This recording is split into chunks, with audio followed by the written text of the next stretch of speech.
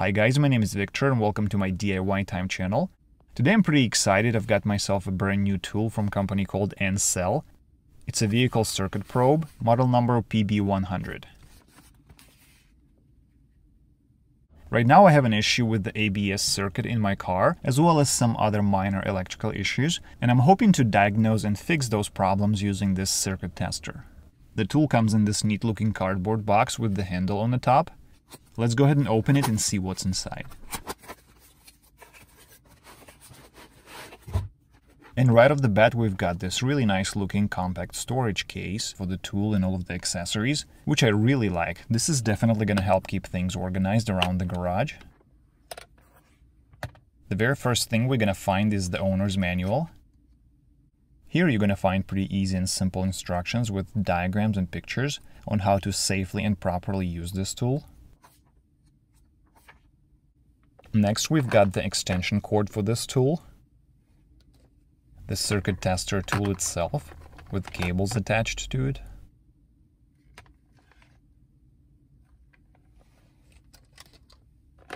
Next we've got the cigarette lighter adapter, the battery clamps.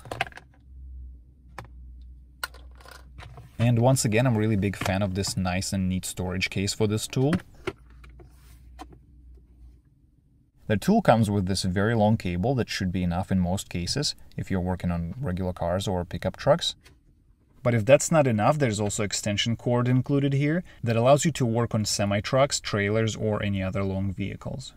There's also a cable with alligator clip for auxiliary ground connection, this will allow you to test resistance on the components outside of the vehicle.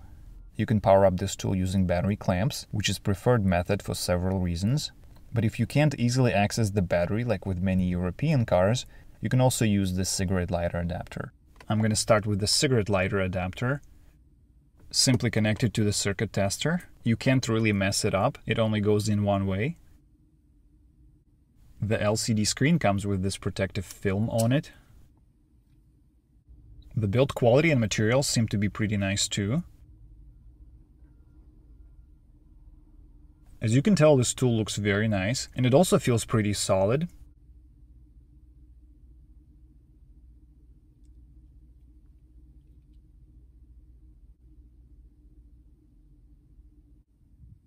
When you power up the circuit tester, there are two LED lights on top of it that automatically turn on.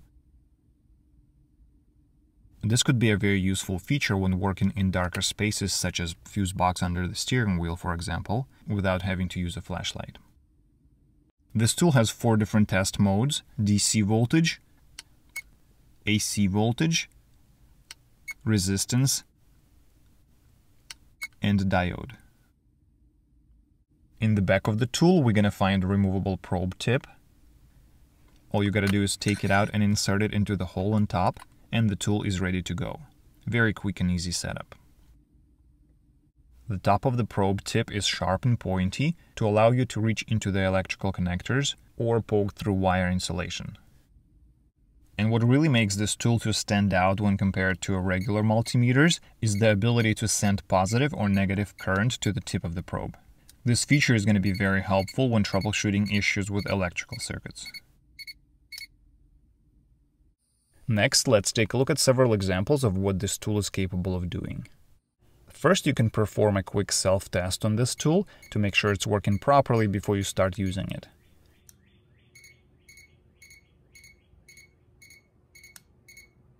Second, this tool got built-in short circuit protection.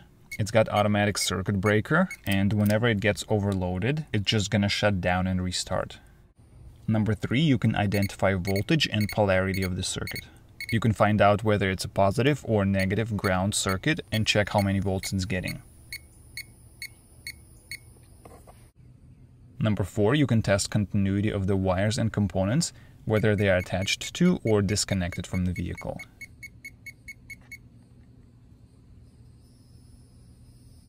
You can also test the resistance of various sensors and ECUs and compare those values to the factory specs.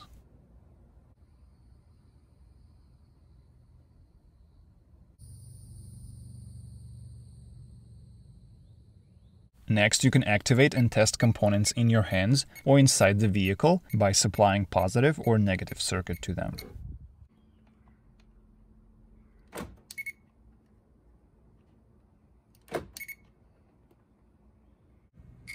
Using alternating voltage mode, you can test sensors and signal circuits.